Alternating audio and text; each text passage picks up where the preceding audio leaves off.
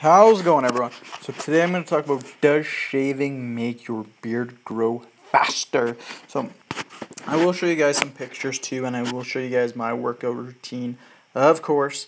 And uh, yeah, so you guys can see in this picture I am looking pretty fucking lean. I'm 181 pounds right now. I actually will be doing a cut, you guys. Now, some of you are probably thinking, well, why do you want to do a cut? Why don't you want to get bigger? Just for the simple fact that with my job right now, that I burn so many calories that it's not even there's no point in trying to bulk because I'm burning so many fucking calories. So I what I will be doing is doing a little mini cut. This mini cut could be two weeks to maybe four weeks to maybe even six weeks. We'll see. But yeah, I just figure you know why try to consume six thousand to seven thousand calories when I can just do a little mini cut. Um, you know, only eat around 3,000 calories and still cut and look fucking good. So that's my plan, and that's what I'll be doing for the next few weeks. Um, it'll probably be closer to four weeks of cutting, to be honest. And uh, yeah, four to eight weeks, maybe. I doubt eight weeks. Again, probably four to six weeks. We'll see. But yeah, the title of the video is Does Shaving Make Your Beard Grow Faster? So we will go over that right away. Um, in this video right now, I'm doing a flat barbell bench, 185 pounds. I do 12 reps. No, I do 15 reps, 12 reps, and 10 reps, I believe. Um, I was trying to get all 15 on all three sets, but um, because I haven't done the flat bench in a while, uh, I just could not get this done. And remember how I say that you always should be switching your exercises up every four weeks? That's what I'm doing. Um, before I was doing incline barbell bench, flat dumbbell bench, incline dumbbell flies. I'm now doing flat barbell bench, incline dumbbell bench and incline dumbbell flies. The incline dumbbell flies I left just because um, I want to do them a little bit longer. So some people like to think because if you shave, your beard will come back thicker. Some things to keep in mind is if that was true, then how come all these people who have insane beards, how come some of them are completely bald? Um, so again, you can't really judge um, shaving um, if it will make your beard grow back quicker. I will go into a little more detail about that. Um, the main thing to keep in mind about hair growth is going to be your hair follicles. So what people don't know is that people who have thicker beards, the reason why they have more thicker beards is because they have more hair follicles on their faces. Uh, genes, hormones, and age all influence how many hair follicles a person has. So, I mean, you could transplant some spare uh, follicles from another part of your body, but there's nothing that you can do to actually increase the amount of hair follicles on your face, you guys. As for the transplanting, that was a joke. You can't actually do that, you guys. So, I mean, you probably could, but that would be fucking stupid. Um, this exercise right now, I'm doing uh, chin ups again last time. Last four weeks, I've been doing weighted pull ups. Um, then I was doing bent over barbell row and then barbell shrugs. So I'm doing chin ups instead of pull ups. So switching it up a bit. Then I will be doing seated cable rows and not bent over barbell rows. The shrugs I will be keeping the same. So going back to the hair follicles. So yeah, genes, hormones, and age all influ- all influence how many hair follicles you can have. Um, so then why why do people think, you know, how come when I shave it it looks a little bit thicker? So Shaving only gives the appearance of thicker hair, you guys.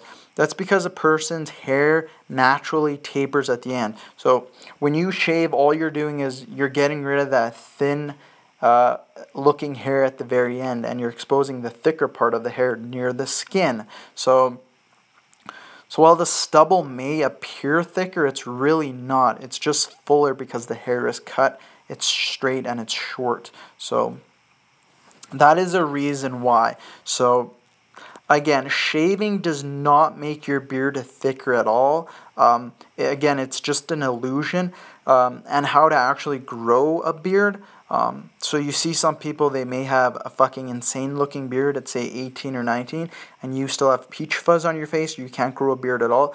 That reason being is they simply just have better genes and they have more hair follicles and again, that's all there is to it. So if you can't grow a beard, it has fuck all to do with you guys. Shaving will not make a difference. Some of you have probably already tried that maybe for a couple years and you still notice why am I not getting a beard or what what's happening?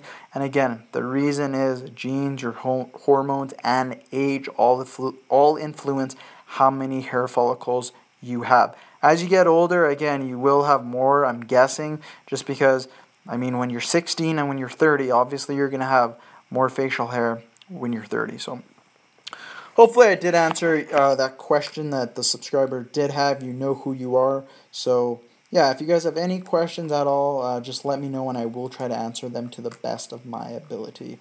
So, yeah, now we can talk about this uh, workout routine a little bit more and we can go over what I will be doing. So, again, first set of this, I believe I got 15 reps, 12 reps, then 10 reps. Um, again, just doing body weight for the first week. Um, next week I will add 10 pounds, so I'll do weighted chin ups and probably get try to get three sets of 10 repetitions um, three sets of 12 maybe we'll see how it goes but again you guys have to realize that you have to keep switching up your exercises you can't just do um, pull-ups for the next two years and expect gains constantly switching up your exercises will allow you guys to keep making progress uh, again the law of accommodation the longer the longer you do an exercise the the less you're going to get out of it. So make sure you're you keep switching it up so your body does not accommodate to what you're currently doing.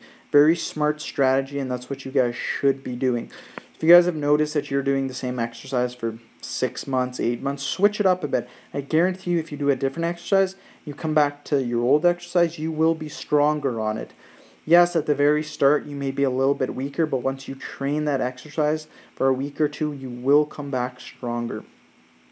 And I have to say, you guys, I am looking fucking jacked in this video. I'm not gonna lie. This is only my chest and back day, and my arms are just popping, you guys. So I'm extremely happy with this. Uh, I cannot imagine what arm day is gonna be like on Wednesday. It's gonna be absolutely sweet.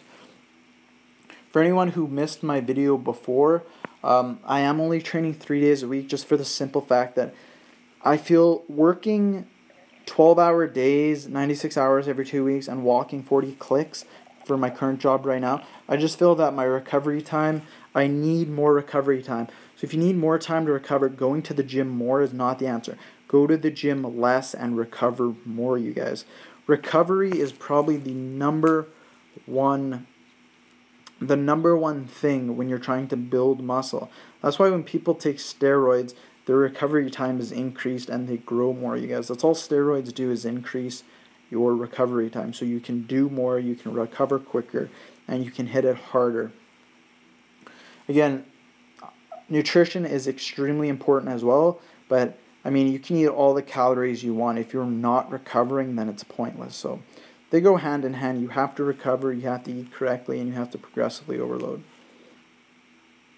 So I switched up my exercises from last week. Before I was doing bent over barbell rows, now I'm doing seated cable rows, you guys. And uh, before I would always use a different cable attachment. I've never used this cable attachment before, and I really love it, you guys. It's fucking awesome. Some of you are probably thinking, wow, you seem pretty destroyed. Like, you seem like you're very tired. What's going on? I actually forgot my water bottle today at the gym, so I had no fucking water. Um, I made sure that uh, a cup, or there was one guy in the gym, I made sure he left, and then there was uh, a little water cooler I just stuck my head under there and I got a little bit of water. But that was near the end of the workout, you guys. So, not gonna lie, having no water and training for 40 minutes extremely intensely, um, I was pretty destroyed. I'm not gonna lie. Really wanted some water, you guys.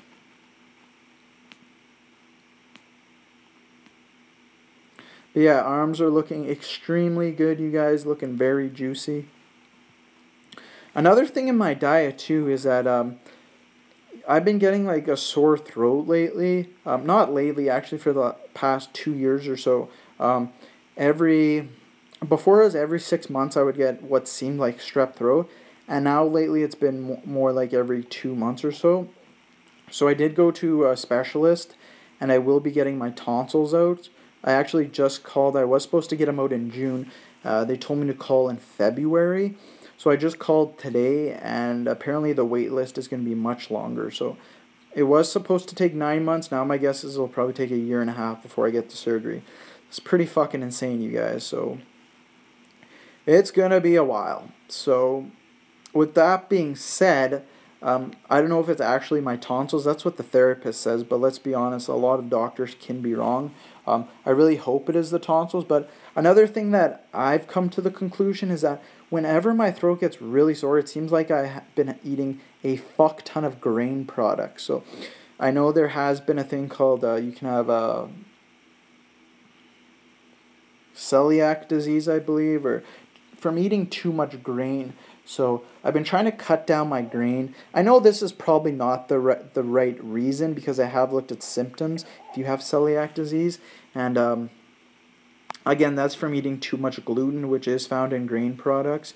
So, I mean, the symptoms, I only had, I think, one symptom out of maybe 10. So I really don't think that's the, the problem. But I mean, I mean, it doesn't hurt to try, you guys. So I'm going to give that a go. Um, to get all your carbohydrates in for the day without having grains is extremely, extremely tough. That is another reason why I'm cutting just to give this a go. Um, and to be honest, the bulk to get 4,000 calories in the day without eating grain is basically impossible in uh, in my mind. I mean, you would have to eat so many yams and potatoes that would be unreal. So, um,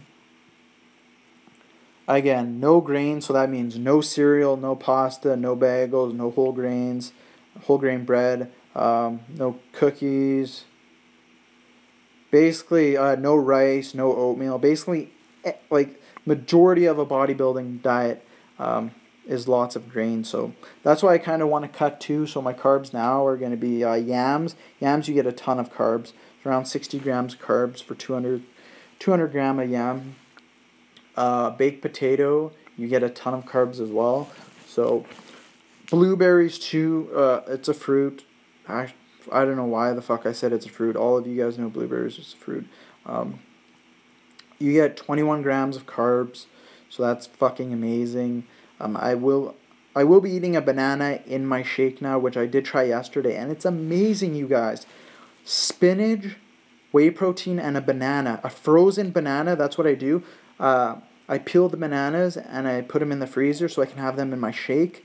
Just for the simple fact, you buy six bananas in three days, they're like rotten. So definitely do not like buying produce and it goes rotten. So that's what I will be doing. Frozen bananas. And it tastes amazing, you guys. So yummy. Fucking love that shake. Also, we'll be eating more broccoli. Um, what else? Broccoli broccoli, spinach, yam, potatoes.